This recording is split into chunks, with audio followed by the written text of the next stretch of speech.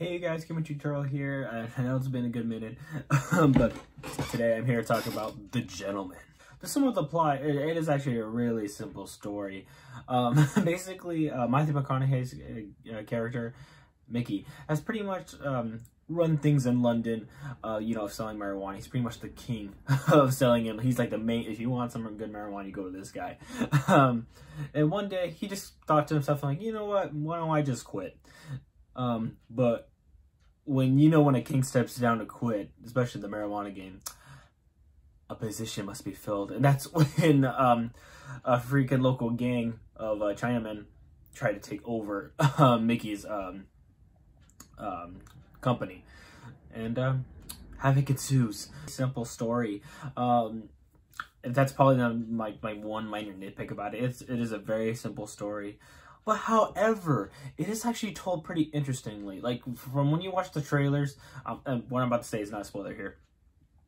When you watch the trailers, um, you pretty much, um, it shows you that uh, Charlie Hunnam's character and Hugh Grant's character um, pretty much interact with each other. Like, pretty much Hugh Grant it, it comes by and tells Charlie Hunnam, like, hey, you're, you're, um, you work with Mickey, right? Well, uh, uh someone's gonna off your boss. um, and pretty much Charlie Hunnam asks, like, how do you know this?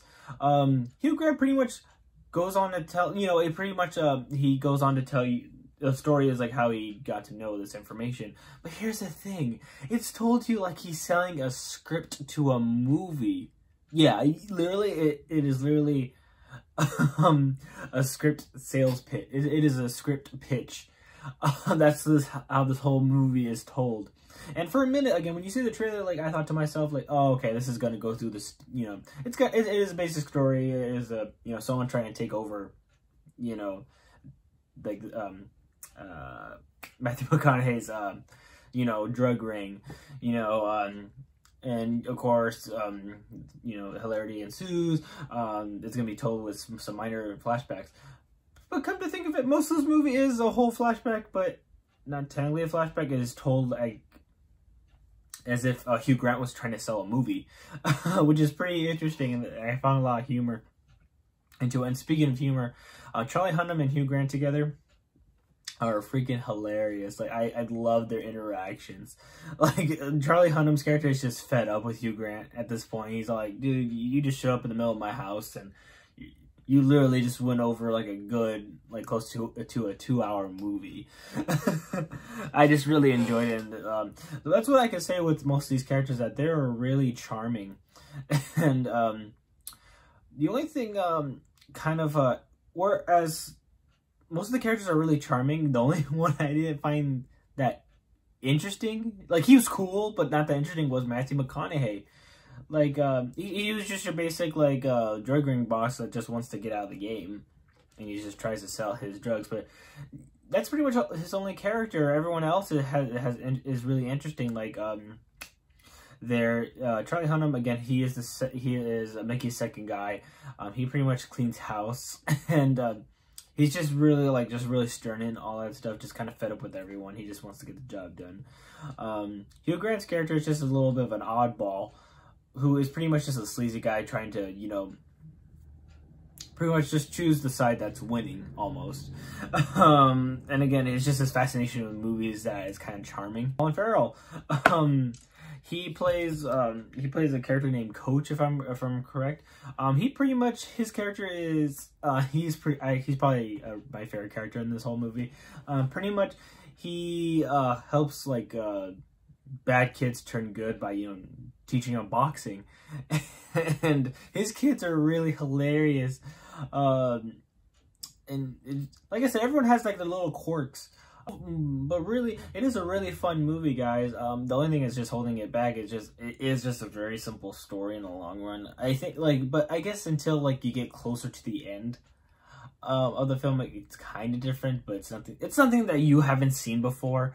Um, I mentioned um, on my Instagram and also um, on in my YouTube, uh, I did like a little um, first reaction, and um, I mentioned that like uh, if from what I heard from other reviewers, uh, if you like Snatch, you'll definitely love this movie. I haven't seen seen Snatch, but watching this movie and if everyone's comparing the two, yeah, I'm kind of down to watch watching Snatch now.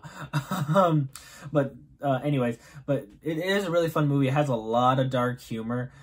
Um, there's especially like there's a scene with a pig. I'm not gonna go any further than that, and um, they don't show you anything, but just their just the characters' reactions are really hilarious. I was just dying. I love jokes like that. Like they don't show you. It's just they leave your imagination to to you uh, to react. Um, but yeah, overall, I don't really have any um, minor nitpicks. It just, again, it's just. Um, by the way, I was actually surprised how short it was. Like, it's a little under two hours. It was like a, like I think like an hour and fifty minutes, fifty two, if I'm correct. But um, overall, guys, I really had a good time with um, with the Gentlemen. Again, a really funny title when most of the time these guys are not really that, you know, generally. Um, but yeah, I highly recommend you catch this in theaters. Um, so, all again with those little minor nitpicks that I had again with Matthew McConaughey's bland character, and again a very simple story. Again, I really have fun, and um, I'm gonna give Gentlemen a four out of five. Um, again, it's so close to being a five out of five for me, guys.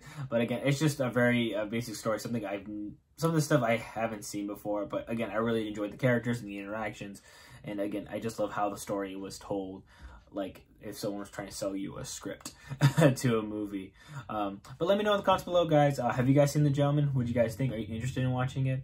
But again, and um, of course, if you want to keep up to date with my channel, hit the little bell icon, and of course, follow me on Instagram if you want to see some behind the scenes stuff, or maybe some um, you get some early views of my reactions. But anyways, guys, I'll catch you guys next time.